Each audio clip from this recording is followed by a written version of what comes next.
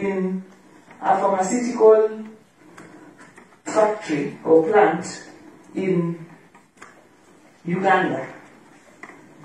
Maybe what we would ask is, do you know about this phone call? To whom was this phone call made uh, in Equity uh, Bank?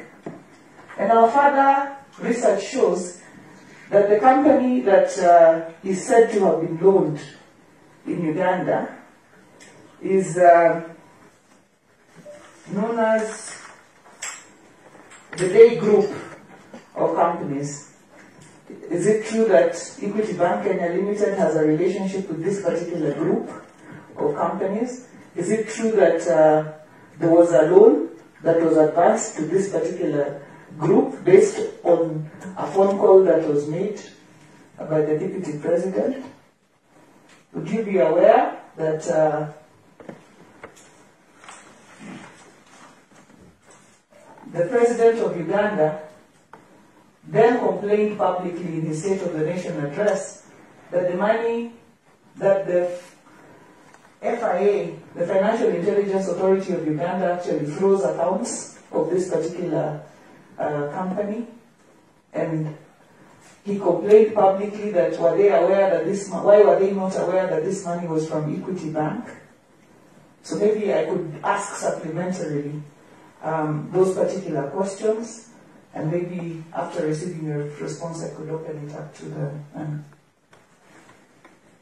Thank you, Madam Chair. And before I welcome my, my colleagues also to jump in, let, let me start by saying, in terms of uh, the phone call, uh, from where I sit, uh, I'm not aware of it.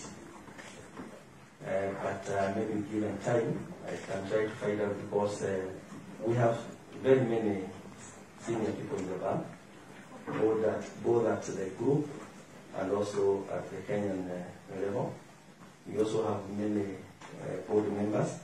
So I, I, it may not have come to my attention whom might have called.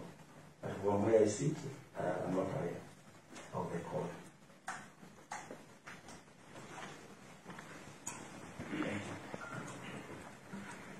Okay, um, thank you, Madam Chair. Just to pick um, one of your questions, um, again, whether a facility was extended um, to Harun Aydin or any company that is related to him, I think we'd like to reiterate the fact that uh,